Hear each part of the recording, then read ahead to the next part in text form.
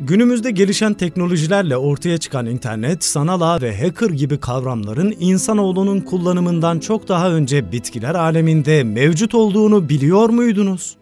Ağaçlar, çiçekler, mantarlar, hatta yediğimiz domates, fasulye gibi sebzeler kendi aralarında geliştirdikleri internet ağını kullanırlar. Zaman zaman hacker rolüne bürünerek gizli bilgileri ve mineralleri ele geçiren türler de mevcuttur. Bitkilerin internet ağı Hacker bitkiler Mantarlar ve bitkiler arasındaki ilişki Mantarların gövdelerinin büyük bir kısmı miselyum olarak adlandırılan ince ipçiklerden oluşur. Bu ipçikler yer altında farklı bitkilerin köklerini birbirine bağlayarak bir çeşit internet ağı meydana getirir. İşte bahçenizdeki ağaç büyük ihtimalle bu ağı kullanarak birkaç metre ilerideki çalılıkla bağlantısını kurmuştur bile.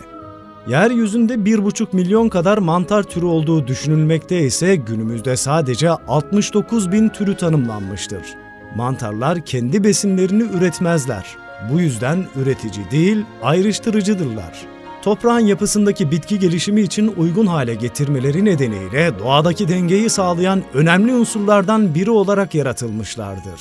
Bitkiler bu ağa girerek besin ve bilgi paylaşımı yaparlar ve komşularına yardımcı olurlar.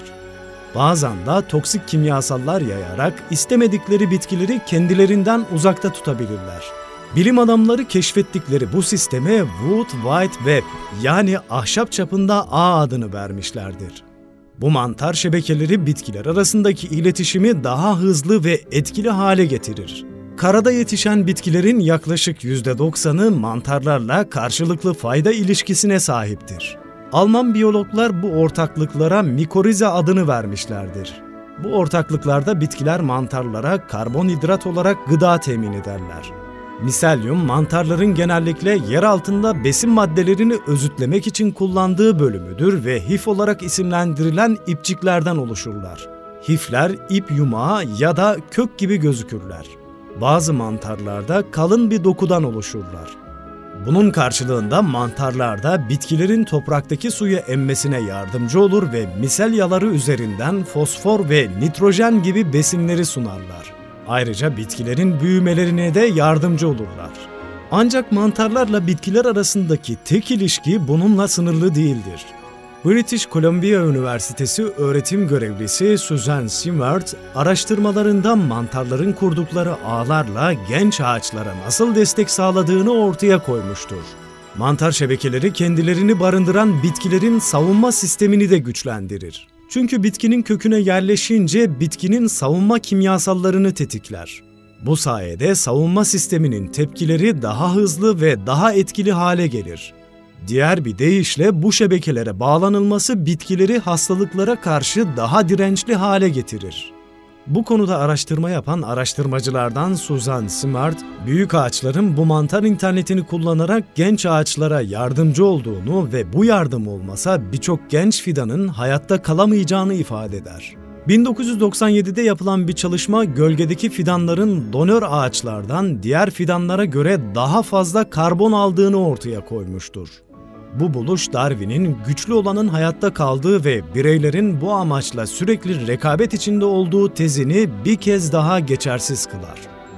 Domatesler ve mantarlar arasındaki ilişki 2010 yılında Güney Çin Tarım Üniversitesi'nden Rin Sin Zeng, bitkilere zararlı mantarlar yapıştığında bitkilerin miselyaları üzerinden komşularını uyararak kimyasal sinyaller gönderdiklerini bulmuştur. Zengin çalışma arkadaşları saksılara domates ekmiş ve bu bitkilerin bazılarının mikoriza geliştirmelerine izin vermiştir.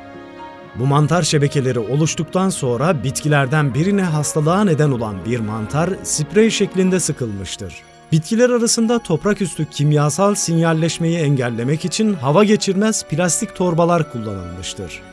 65 saat sonra Zeng ikinci bitkiye de bu şekilde hastalık yapan mantarı sprey şeklinde sıkmıştır.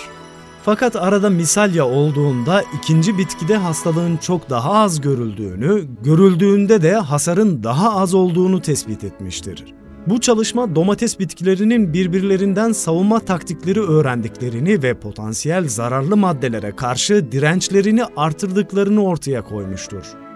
Dolayısıyla bitkiler bu ağ sayesinde sadece besinlerini paylaşmakla kalmamış, aynı zamanda savunma taktiklerini de paylaşmışlardır.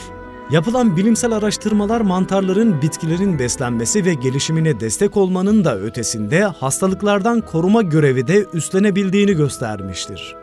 Mantarlar ve fasulyeler arasındaki ilişki 2013 yılında Aberdeen Üniversitesi'nden David Johnson, fasulyelerinde yakındaki tehditlere karşı tedbir almak için bu mantar internetlerinden faydalandığını ortaya koymuştur. Buna göre fasulyeler kendileri yaprak biti saldırısına uğramasa da saldırıya uğramış olanlarla mantar şebeke bağlantıları varsa anti yaprak biti kimyasallarını aktif hale getirirler. Misalyası olmayanlarsa böyle davranamaz. Bitkilerin aralarında iletişim kurdukları bu internet ağı özel olarak yaratılmış bir savunma sistemidir. İnterneti hackleyen bitkiler İnsanların internet ağında olduğu gibi mantar internetinde de hacklenmek gibi karanlık bir yön vardır. Bazı bitkiler bu internet ağını kullanarak birbirlerinden gizli bilgi alırlar. Örneğin hayalet orkide ihtiyaç duyduğu karbonu bu ağ üzerinden yakındaki ağaçlardan alır. Akasyalar, Amerikan skamor ve çeşitli okaliptus türleri yakınlardaki bitki yetiştirme olasılığını azaltan maddeler salgılarlar. Bu bitkilerin internet ağını kullanarak birbirlerinden gizli bilgi almaları zeka gerektiren bir davranıştır. Bunu başarabilmek için bitkinin adeta bir zeka gösterisi yaparak internet ağında bitkilerin gönderdiği şifreleri çözmesi gerekir. Daha sonra bu şifreleri birleştirip kendi bünyesinde çeşitli değişiklikler oluşturup böyle bir savunma taktiği geliştirmelidir. Videomuzu beğenmeyi ve benzer videolardan haberdar olmak için kanalımıza abone olmayı unutmayın.